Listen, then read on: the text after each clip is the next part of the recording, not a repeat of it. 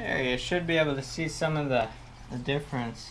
So I cleaned the bottom of the left hand side, but not the right hand side.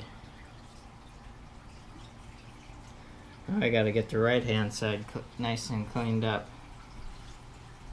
And right down there it splits.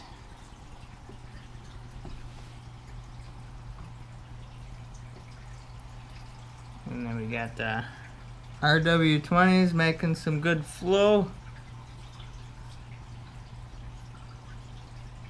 They change throughout the day. They're on the seasons table, so it's a little different every day.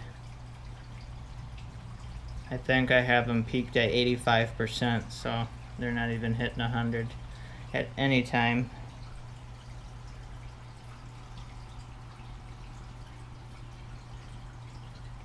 And you can see the H2 overflows.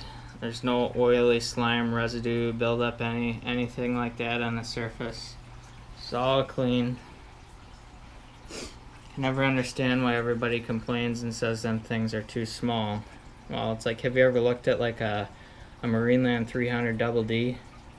The actual tooth notch in one of them corner overflows is maybe 8 inches, I would say. Maybe. Which would put it at 16 inches of skimming area.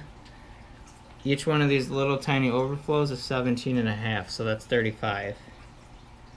So I had 35 versus the 16 on there. And I think if you do the math, let's see, we got 6 by 3, that's what them are. That'd be 18 square feet. This is 8 by 4, so we're 32. So we're not even double this, the surface area on top, but we have over double the skimming capacity. So people really need to check their facts before they start putting things down. Because if they actually did the math, wrong. They work great. Just because they look small.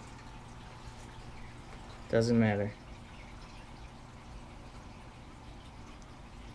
We got my clam here. He's not opening real wide. I think it's because of the. He's got like this great big huge stone attached to his foot.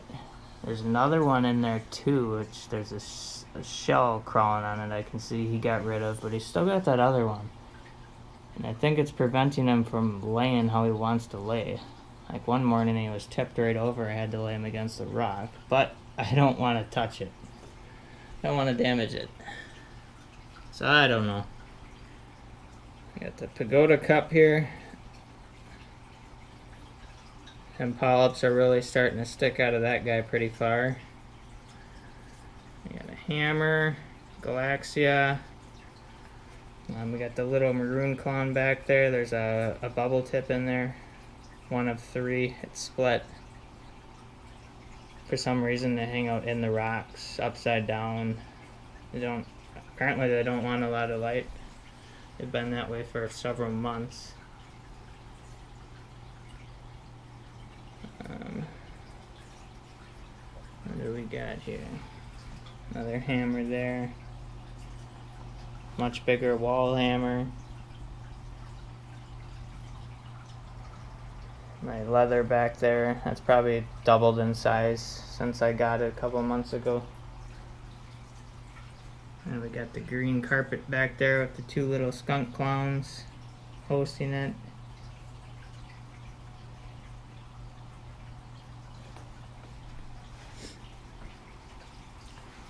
And then the other day, this uh, was a Pachyseris or something like that. It's like a Montipora with no polyps. He's there now, but I had him back here and he fell fell off. He was on top of my uh, Hollywood Stunner there, and now you can see the nice dead spot on top. But it should grow back fairly fast, all the way around the edge of it. I can see growth. It's been growing. So, that should come back in not too long. And then you got my idol. His streamer broke off the other day. But apparently that grows super fast too, because when he was in quarantine, it grew about three inches in the month that he was in there. So it doesn't take long. Might have got it stuck in the power head or something. That's what I was worried about. Came home and it was gone.